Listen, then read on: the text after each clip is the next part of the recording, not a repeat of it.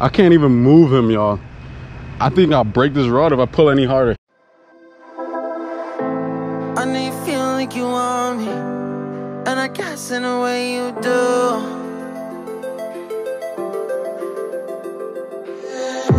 Holding my breath, unraveling emotions. I need some space to think this through. Call me night long. What's going on, Adventure Gang? My name is Denzel Pratt, and you're watching another episode of Mandora Explorer.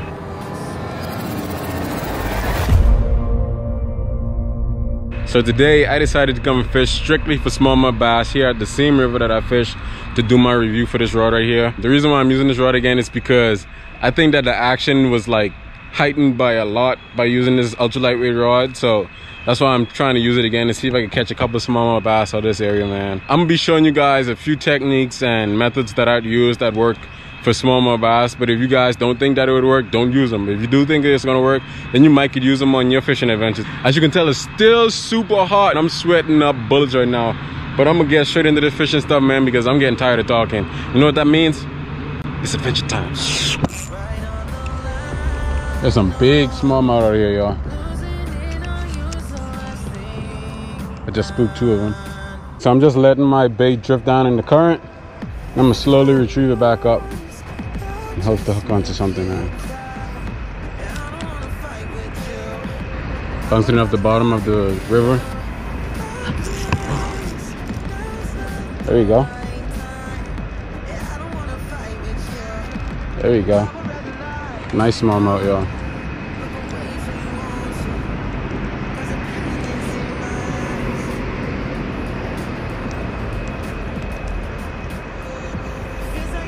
He's hooked up in a rock or something like that. What the heck? Oh, there we go. Got him out. Come here, buddy. Nice. Nice. They got a lot of fight in them.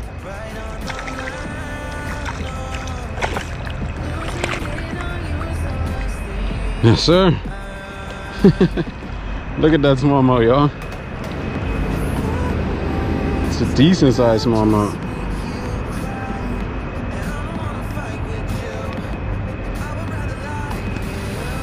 Almost a pound.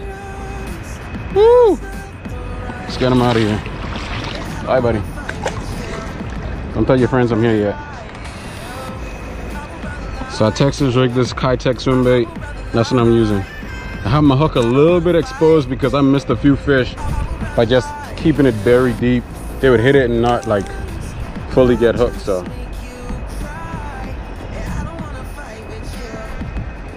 Let's see what else we got out here. Ah, I need to switch my swim bait. This one is just balling up.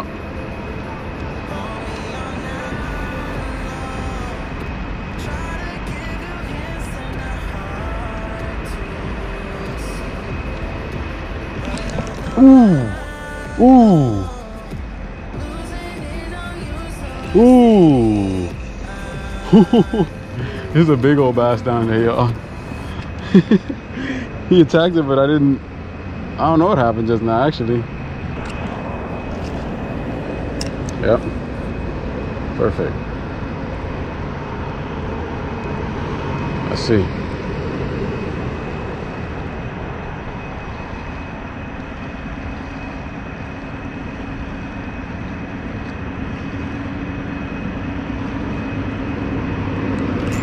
There we go.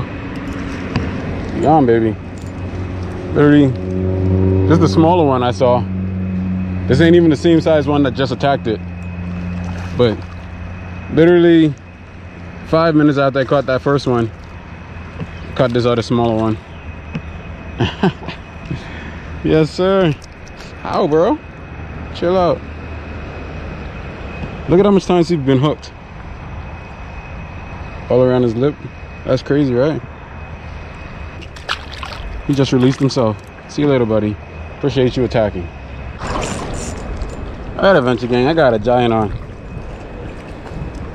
Oh, oh my gosh.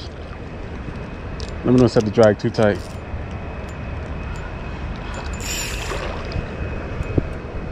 Oh gosh. Yo, this is giant. I can't even reel him.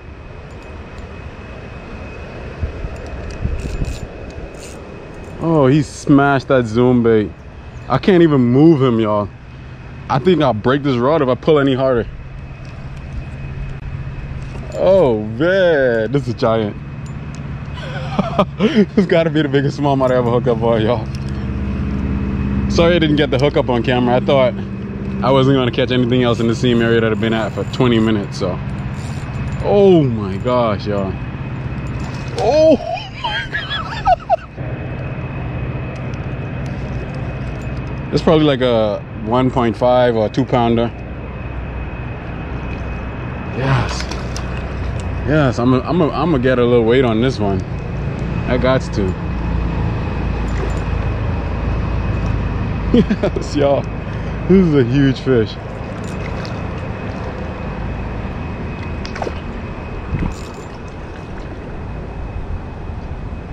Get out of the brush. Alright, it's free. There you go. Oh my gosh, Adventure Gang. Right in the corner of the lip. You ain't going nowhere.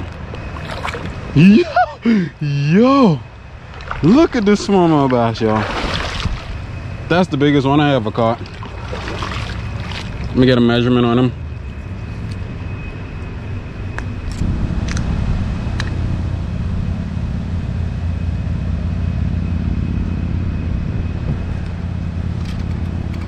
Right, zeroed out.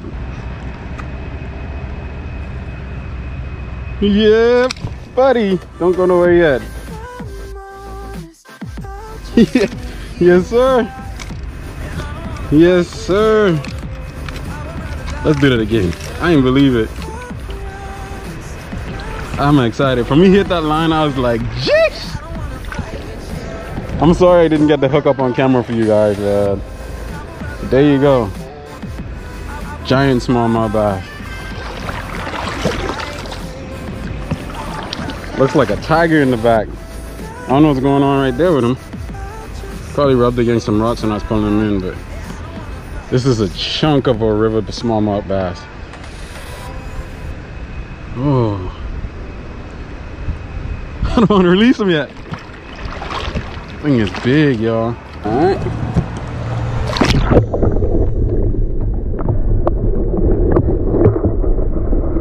This water is warm up in here.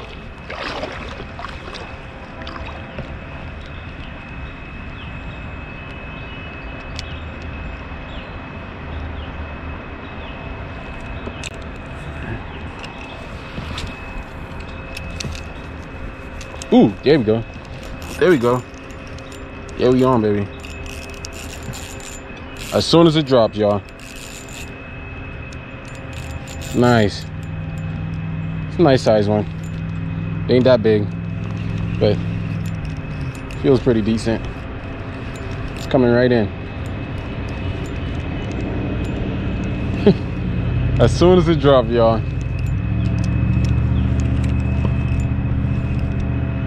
right in this shaded area where the water isn't moving that fast oh man it's a little more decent than i thought actually it's a little more bigger than i thought it was just coming at me oh man get out of that brush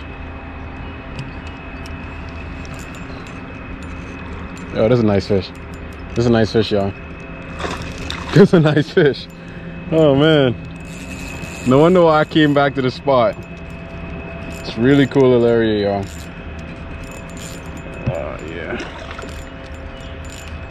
And this light, this ultra lightweight rod makes it feel a lot more better. Just want to work it super slow. You don't want to pressure the fish that much because this could break off any minute now. So I'm trying to work it extremely slow, get it tired before I actually try to bring them in. I hooked him right in the side of that mouth. Always the best place to hook him, man. Fish still got a lot of fight in him. I thought it was smaller because when it initially got hooked, it came directly at me, so that's what made it feel a lot smaller. Nice. It's a nice bass, y'all. Yes, sir. All right, I think he's done. I didn't even hook him inside of them. I'd hook him in the in the gills. Look like. yes, sir. Oh my goodness. Yeah, this is a nice size one actually. That's a big bass. It's a big little creek bass at least.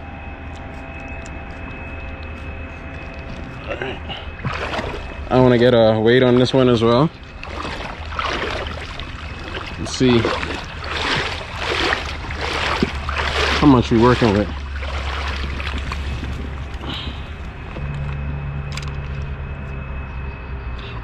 Never mind. This is actually my PR, man. The other one that I hooked up on, I thought it was the biggest one I got because it was probably in the current and it's pulling a lot harder. But this is my PR bass right here, y'all. 2.27 pounds. That's crazy. Official weight right there. All right, y'all, I'm gonna let him go. I hooked him in the gills, so he started bleeding a little bit. Let me get some water in his gills and then I'm gonna release him.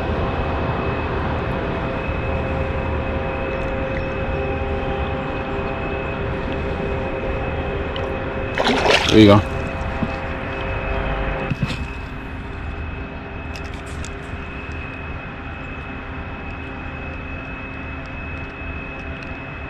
Here we go. Yeah. Two minutes after that one. Tighten up my drag a little bit. Two minutes after that one, y'all. He's coming at me too, so I don't know how big this fish is. He could be a lot more bigger than he seemed. Nah, he's smaller. He's smaller, but he's still a bass regardless, man. nice. They got a lot of fight in them. That's cool, y'all.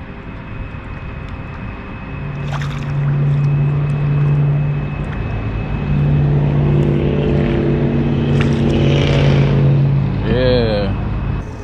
Nice little smallmouth bass, y'all. I almost hooked this one in the eye too. you know what? This is the same bass. If you remember that last one, it had, I was like, it got hooked all around the lip. Look at that. I'm pretty sure it's the same bass. How did I fool you twice, buddy? That's crazy. I'm gonna let him go, y'all. Spider, no! Get out of my bag, boy. Get out of there. Get out. Get out of there. All right, so I'm gonna Texas rig this hook.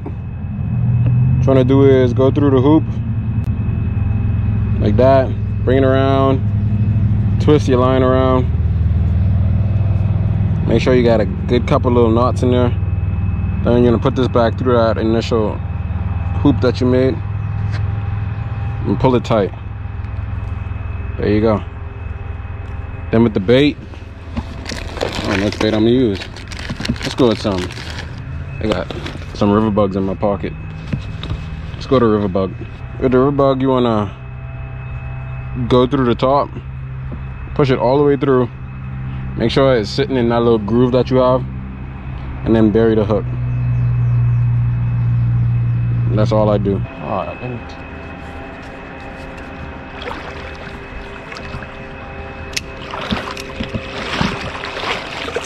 What? Yo, there's a bass just sitting right here. That scared, scared the crap out of me. Hey, Mr. Duck. How you doing, man? Check this out, man. Y'all know me. I'm always down to find some new things. what is going on with his back?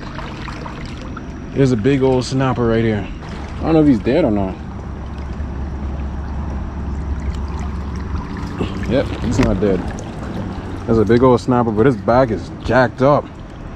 This is the biggest snapping turtle I've found before.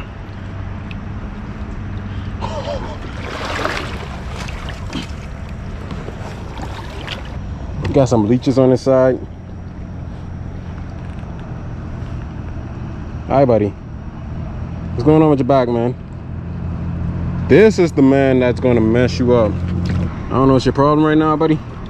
I'm to release you back. Look like someone smashed his back in with something. There you go. Bye, buddy.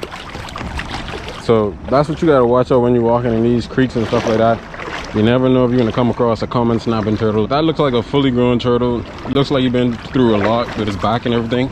Look like I'm about to go through a lot slipping over these rocks. So my first question of the day is what allows smallmouth bass and fish like that to withstand currents like this that is so powerful? I'm really getting tired of these mosquitoes, man. I had a mosquito fly in my eye, caught it with my eyelid.